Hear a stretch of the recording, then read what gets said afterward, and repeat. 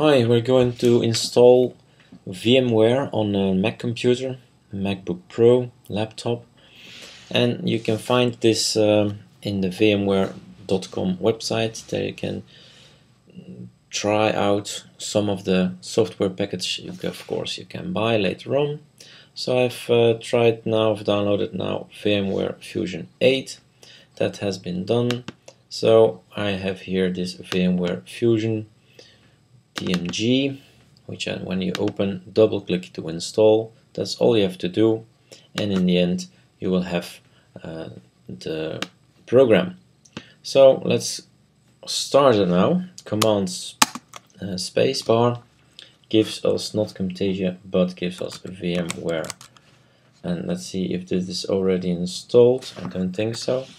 So the thing you have to do is now double click this and we'll see what happening what's happening now.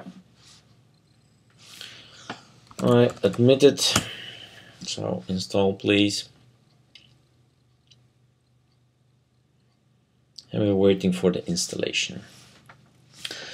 VMware Fusion is interesting for have, for installing Windows 10 at this point of speaking September 2015 I want to try out for 30 days of course and you can try out both. Business users home users home user will be enough for me.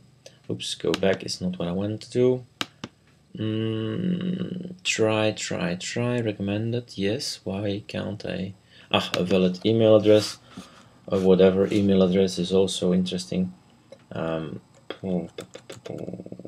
let's take a one from Hotmail.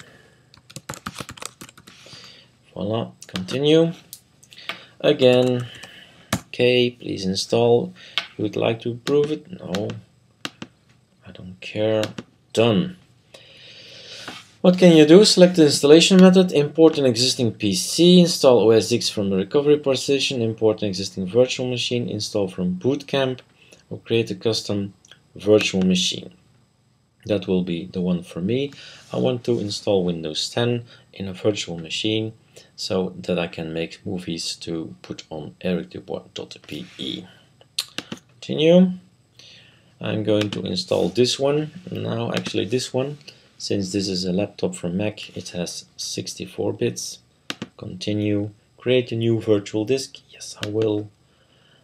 And 60 gigabytes is more than enough. Windows 10 needs 16 gigabytes.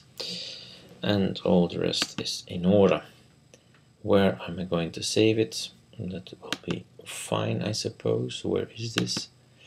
In the documents. Wow, okay, no problem.